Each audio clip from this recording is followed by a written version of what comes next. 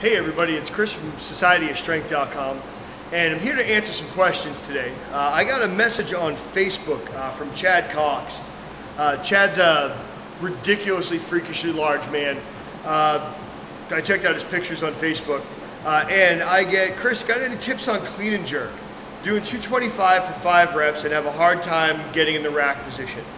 So I asked a couple of other questions uh, whether it was the actual rack position itself or was it, you know, what, what, what the deal was, if he could elaborate. And basically he's having a hard time getting his elbows up and the bar to rest on his collarbone. Uh, this is very common, especially with larger, more muscular athletes. Uh, this is something that's very, very common. And a lot of times it's they think it's because their arms are so big uh, that they can't get the bar in there. And that's actually not that true. I mean, mu muscles are actually pretty pliable. They will go down, especially with 225 pounds in that position, they will go down. Your biceps are gonna go down. Uh, the majority of the time, the reason that those elbows don't come up in the front rack position is because of tight triceps and tight, tight uh, outer lats. Uh, and it's just the, the, flexibility of getting those elbows up into that position uh, it, it's not there, so it doesn't allow it to happen.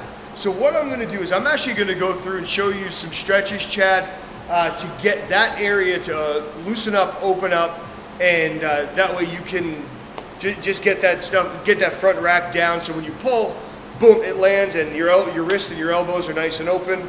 You're here and everything lands right on the collarbone where it should.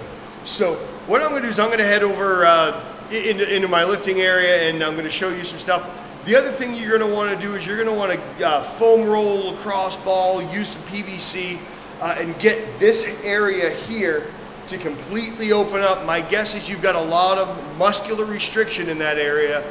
Um, most people that do, uh, you know, the hardcore bodybuilding or, or they're, they're really, really thick and muscular have problems in that area. So you're going to want to roll that whole outer lat area into the tricep, up through the back of the armpit area. Uh, so definitely start there. Let me go show you some stretches. Come on. So basically the first thing you're gonna wanna do is you're gonna wanna set a bar uh, high enough where it's sitting on your collarbone, uh, where you're gonna be, this is where the top of your, your clean's gonna be. Uh, so when you come under your bar, you're gonna be in that position anyway. Uh, what we're gonna do is, uh, it's, it's a one-handed stretch, so you're gonna make sure that your, your hands are on your bar like you would you want them at the top of your clean. And what we're going to do is you're actually going to rock through each arm and that's going to open up that area that you have the restriction in. So we're, we're opening up and we're back and we're opening up and we're back and you want to come through this way to make sure that your the, the flexibility in your wrists uh, is there something I didn't mention earlier? Uh, you want to make sure that your wrist's open as well. Uh, so by the time you get done, you know you're uh, you know you're in this clean position here. So which is going to help you translate into into your the jerk overhead.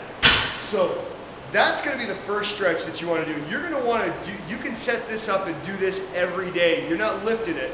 All you're doing is opening up that area, and that's stretching all here. So we want to get that as open as we can. So the next thing I'm going to show you, you're going to need uh, the lightest jump stretch band that you have. Uh, so right, come and check So what we've out. got here now is I've got my, uh, my lightest jump stretch band. You probably just look at my feet here. But, uh, we've got the lightest jump stretch band I have. It's a 26 pounds resistance. Uh, it's looped around the bottom of my cage. You can do any, any stationary object that you can get under uh, that's not going to go rocking out past you. you want to loop it down, under, and around uh, so you actually get this loop coming up. Step number one. Second part of this is you're going to want to grab your loop right through the middle of the palm of your hand. You want to make sure that your hand is staying up. So what we're doing is you're going to start out here and we're just opening up that area here. You're going to feel that stretch all from the tip of your elbow right down, right down your whole side and you're stretching that up. Lean into it a little bit, open it right up. back down, and open them up again. The trick to this is making sure you're keeping your hands straight because as you as you get into your rack position.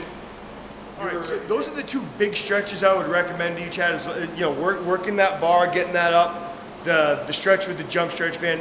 Uh, make sure you're foam rolling that every day. Get that loose, get it open. Uh, and the other thing you're going to want to make sure that you're, work, you're working on is making sure that your flexibility, once, once you get those elbows up, you want to make sure that they're coming in as well. Uh, the, the, rack position that you want is actually your, your triceps are even to the floor, but your elbows are also close. They're, they're, everything is straight and parallel to the floor. So you're looking just like that, and your bar is going to sit right on your collarbone in no time. So that that's today's installment of I guess Ask Chris. I don't, I don't know what to call that, but so anybody else that's got questions out there, definitely hit me up. Uh, I hope this helps you, Chad.